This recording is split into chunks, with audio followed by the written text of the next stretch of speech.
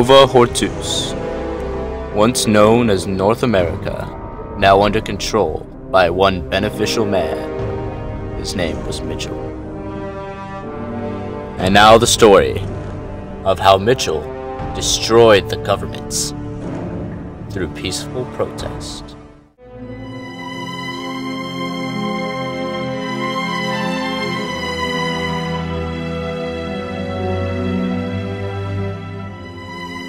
And now we have the tyrant, here to explain how he came to power. I, I'm not really sure. I was just sitting on the park bench one day, and I don't know, it all just happened so quick. I don't.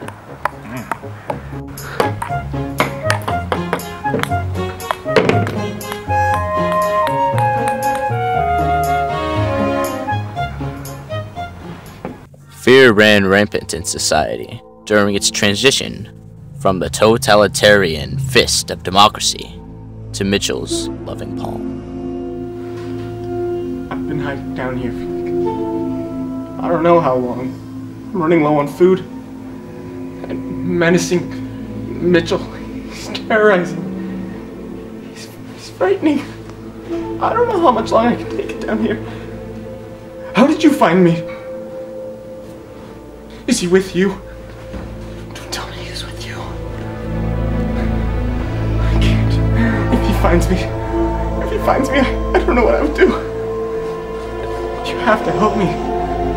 You don't understand. You have to. The, the risk.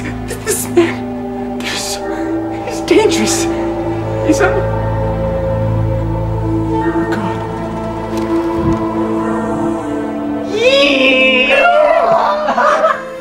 Mitchell's joy was not shared by all people during the takeover. Yeah, when uh, Mitchell took over, things went to hell. Families were torn apart, houses destroyed, entire cities leveled. It was destruction after destruction. It was anarchy, complete and total anarchy. I can't, for something so peaceful, it went so terribly wrong. Terrible. I remember when all this started, the, the very first week, I, I ran into a kid. He had told me that his parents had abandoned him, that they uh, had gone rabid, started eating all the wildlife around the house. It was weird because it was an urban, urban household.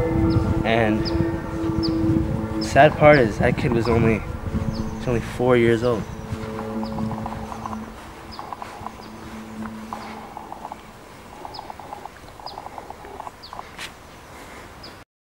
The opinions that Mitchell's subjects had of him ranged from love to downright detest. Here's what an expert had to say.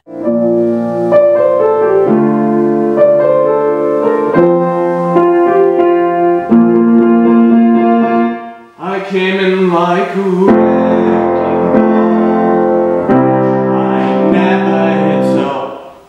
Oh, sorry. This is one of the finer classics of our generation. I'll tell you a little bit about Mitchell as I've been studying the ways of taking over power for many years. And he seemed to accomplish it in simply like a few hours.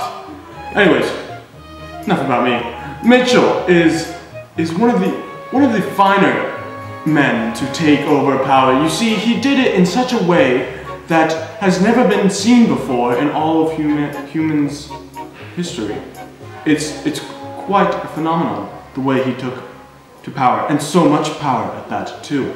He he used such finesse and skill. Now imagine it as something like a, a coup d'état, but but more elegant, more beautiful. There was something pleasing about the way he took over power. And, and now many people argue that Mitchell is a, uh, a dumb person and doesn't know how to see left from right.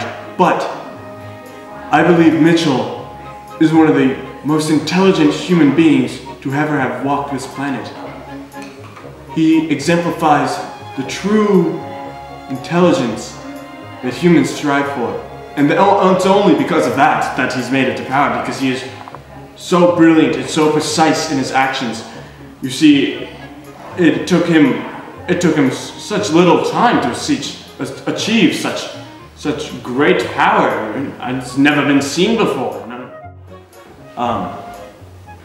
Uh, yes. You you wanted to know the rest of the song? It, well, I'll go, it goes like. I came in like a So how's your life changed since he took power?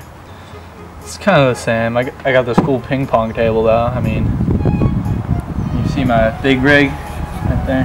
That bad boy. Yeah, that's all mine.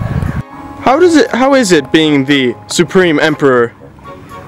I, I wouldn't really say I'm the emperor, more like a father figure for these people. Like, I was there for them when they needed me. I nurtured them. I, I basically breastfed them. You can call me their mother figure for all I care. I'm not some sexist person. I'm I'm just mother and father right there for you.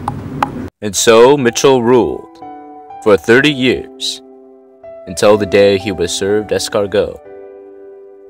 He died within three days.